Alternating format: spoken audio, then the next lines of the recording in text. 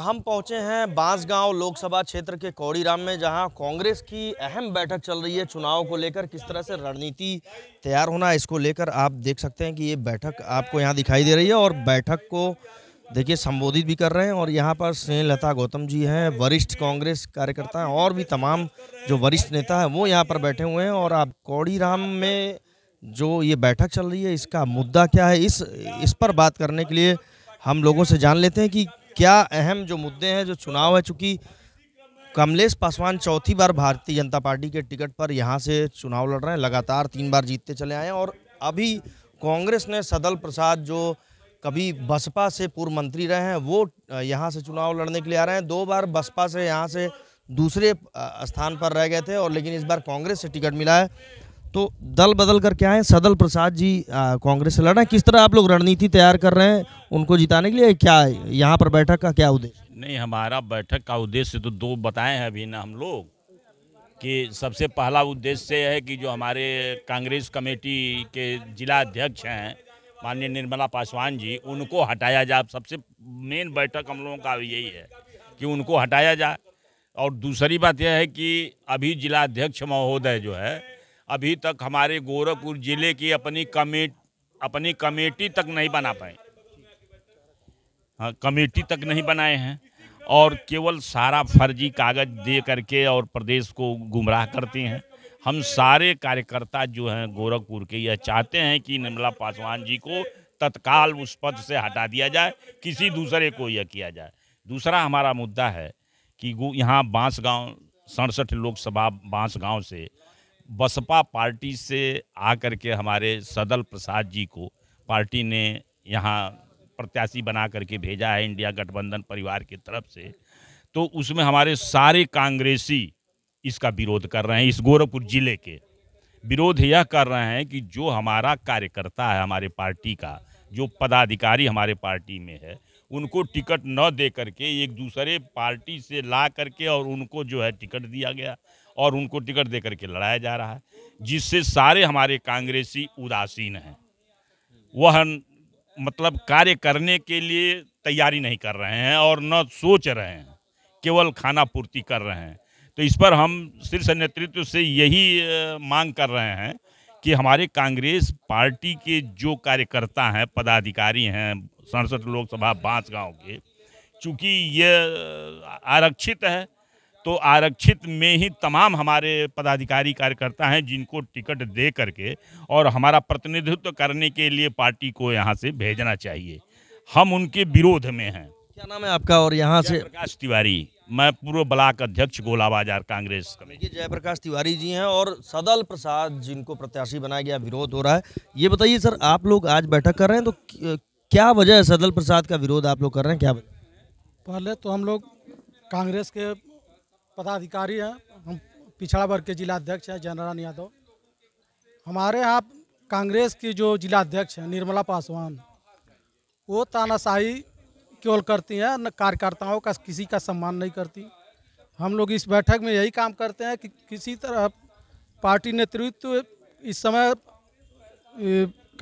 लोकसभा प्रत्याशी को भी बदला जाए और साथ साथ में निर्मला पासवान को भी यहाँ से जिलाध्यक्ष पद से हटा के दूसरे को नियुक्त किया जाए। आप लोग आप लोग क्या वजह है? आखिर सदल प्रसाद का विरोध किसको चाहते हैं आप लोग की प्रत्याशी होना चाहिए? हमारे यहाँ कांग्रेस में मान लीजिए अगर जो इंतज़ार कर रहे हैं कि फंड मिलेगा पार्टी से तब हम क्षेत्र में चलेंगे।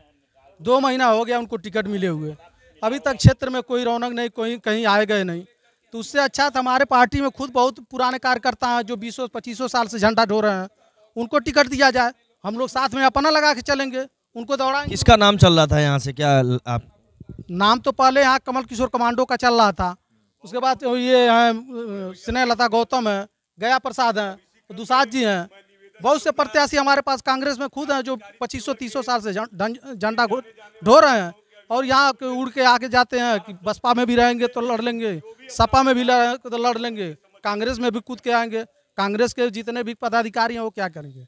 देखिए, तमाम जो बैठक है, इसमें विरोध हो रहा है सदल प्रसाद का, चूँकि टिकट मिल चुका है, लेकिन कहीं दिखाई नहीं दे रहा है, ऐसा दावा है लोगों का। आप आप बताइए, अभिषेक जी, आप आप भी युवा हैं और क्या लगता है, इस बैठक में किस तरह की बैठक है और किस तरह का विरोध आप लोग, सदल प्रसाद का विरोध?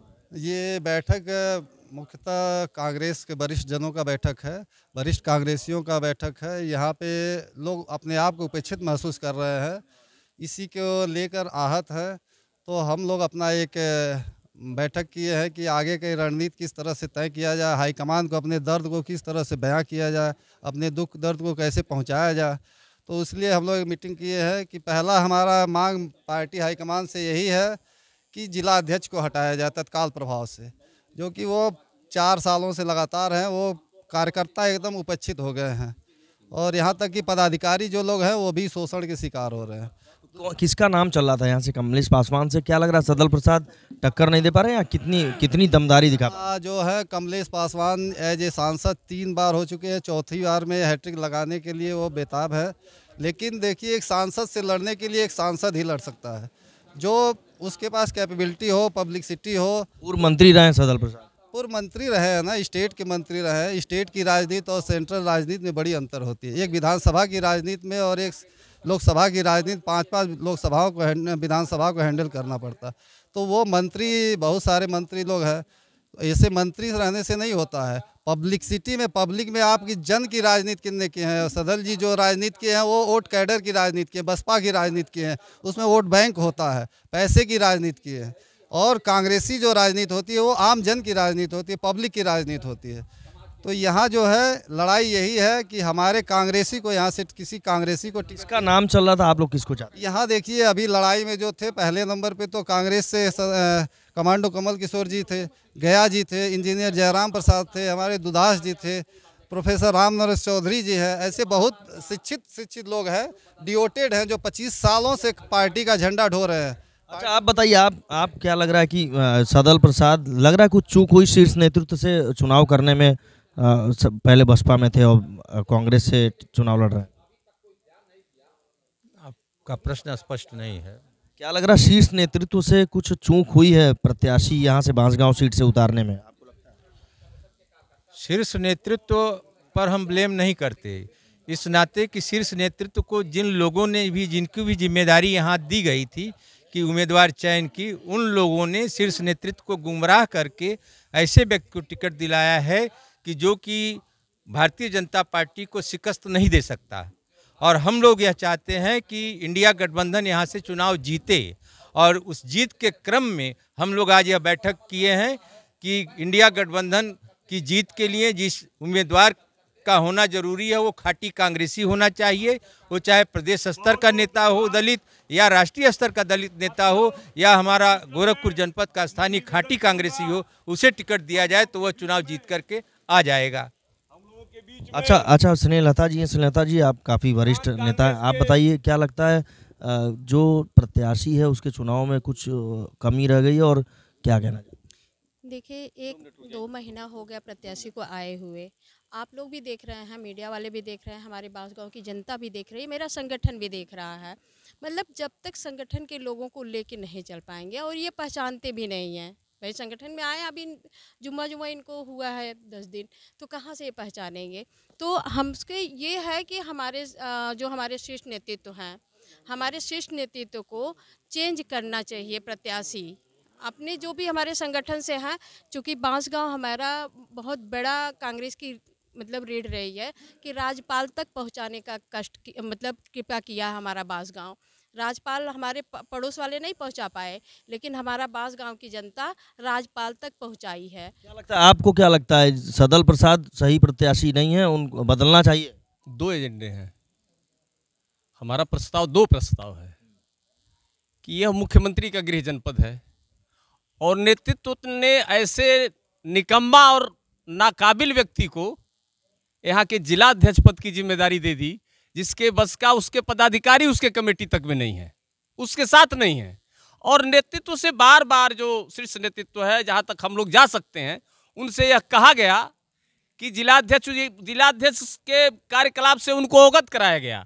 किंतु उस पर भी नेतृत्व ने अपना ध्यान आकृष्ट नहीं किया रहा। बात टिकट बंटवारे की, सुनिए सर, रही बात टिकट बंटवारे की तो हमारे पार्टी के, हमारे संगठन के लोगों ने, जो हमारे दलित समुदाय के अनु लोग थे इन लोगों ने अपने अपने अपना अपना नाम प्रस्ताव किया था। चलिए अब आगे भी बात कर लेते हैं और भी लोग हैं। ये बताइए सर विरोध हो रहा है सही मानते हैं इसको? बैठक में विरोध हो रहा है। बैठक में पहले तो जिला अध्यक्ष का ही विरोध हो रहा है पहले नंबर पर। वह एक ऐसी जिला अध्यक्ष है कि उसको वो कहती है एक दलित संवाद हम लोग यहाँ करवाए थे। वो कहीं दो ब्राह्मणों का फ़ोटो लगाता है कई बभनन के फ़ोटो हटा दीजिए। पहली गलती तो जिला अध्यक्ष एक जिम्मेदार व्यक्ति को ये शब्द का इस्तेमाल नहीं करना चाहिए। और वो पैसा लेकर के कमेटी बनाई है। चुनाव के समय कमेटी कोई नहीं बनती है। वो तत्काल शीर्ष नेतृत्व से ही निवेदन है उसको हटा दीजिए। सदल प्रसाद से आप संतुष्ट हैं जो प्रत्याशी? हमने देखिए शीर्ष नेतृत्व जो दिया है हमें मंजूर है। लेकिन हमारे कांग्रेस के जो सीनियर थे रातों दिन चलते हैं कांग्रेस के लिए उनको टिकट देना चाहिए। सदल प्रसाद या फिर कोई और? देखिए सदल प्रसाद अगर नेतृत्व का फैसला था तो हम लोग उस पर ऐतराज़ नहीं कर रहे थे। लेकिन सदल प्रसाद का जो कृत्य है, जिला कांग्रेस कमेटी के उपाध्यक्ष महेंद्र नाथ मिश्रा उनके उसमें कार्यक्रम में जाते हैं और उनको सम्मान वहाँ नहीं दिया जाता है, किसी अन्य कार्यकर्ता को मंच पर बैठाया जाता है। अगर हमारे वरिष्ठ कांग्रेसी कार्य ज़िले के उपाध्यक्ष को अपमानित किया जाएगा तो हम लोग निश्चित रूप से सदल प्रसाद का विरोध करेंगे और हमारी मांग है कि यहाँ हम लोगों के बीच में जो कार्यकर्ता हम लोगों के साथ कदम से कदम मिलाकर चलता है ऐसे प्रत्याशी को दिया जाए। ये ऐसे प्रत्याशी को ढूंढ रहे हैं जो कदम से कदम मिलाकर चले और यहाँ का खाटी कार्यकर्ता हो एक बहुत वरिष्ठ कांग्रेसी यहाँ पर हैं।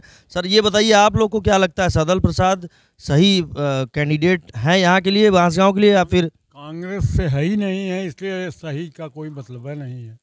कांग्रेस पार्टी से अगर होते जो जुड़े हुए उनको कांग्रेसी कल्चर का ज्ञान होता। उनको कांग्रेसी कल्चर का ज्ञान नहीं है। वो बसपा से आए हैं जहाँ लूट खसोट का राज्य था। उसी पार्टी के वो मेंबर रहे हैं आज तक। वहीं से मंत्री बने हैं और उनको कांग्रेस ने टिकट दे दिया। यह उचित नहीं है। चलिए उचित नहीं है सर। आप भी बहुत वरिष्ठ कांग्रेसी हैं। ये बताइए क्या लगता है सदल प्रसाद या फिर कोई और? देखिए सबसे बड़ी चीज़ है कि पहला मुद्दा हमारा जो हमारे ज़िले की अध्यक्ष महोदया है निर्मला पासवान।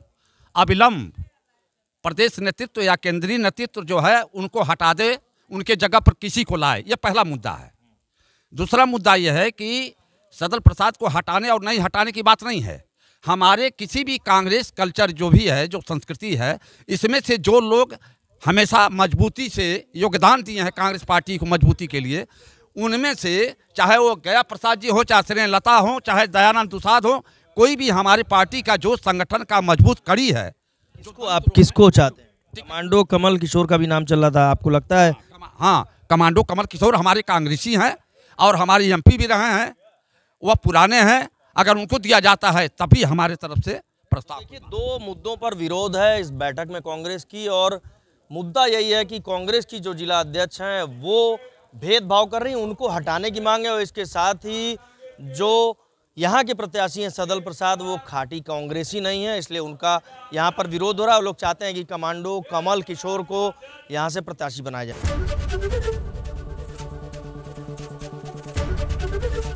एबीपी गंगा, खबर आपकी, जुबा आपकी।